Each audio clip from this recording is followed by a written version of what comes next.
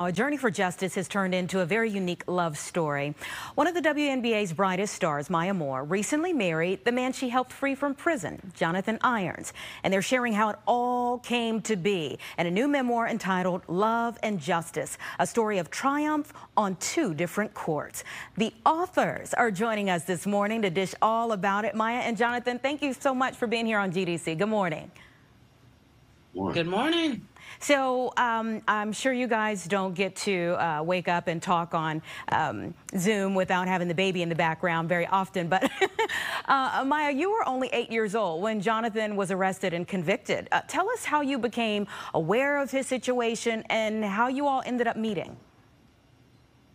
Sure. So I was um, 18 years old when I actually met Jonathan in person. My extended family that I grew up with in Missouri excuse me, had met Jonathan uh, through a prison ministry opportunity.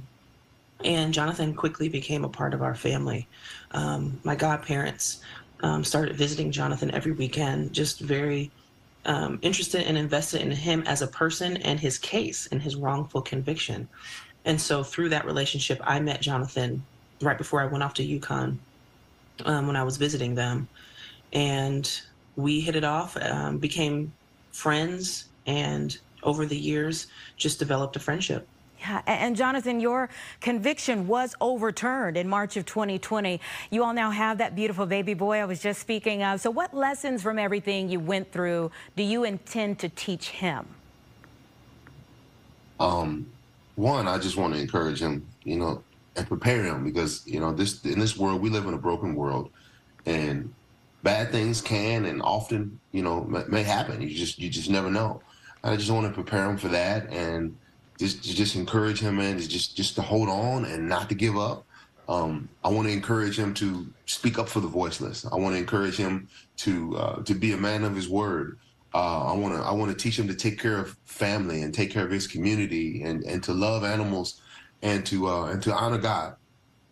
Yeah, uh, you mentioned uh, being a voice for the voiceless. One of the strongest themes of the book is the question you ask all of us to ask ourselves, am I living out my purpose? Uh, looking to the future, do you all plan to continue to be involved in prison reform and social justice issues?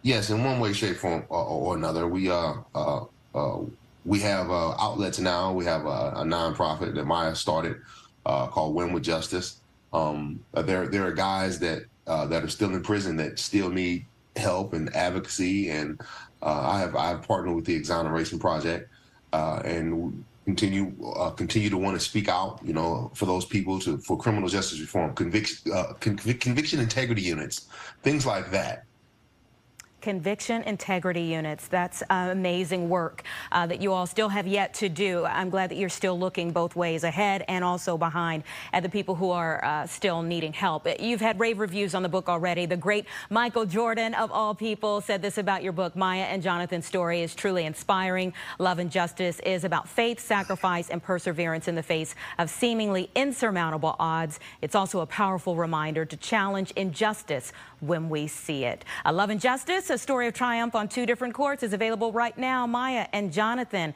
again, thank you so much for spending a little time with us here on GDC. Appreciate it.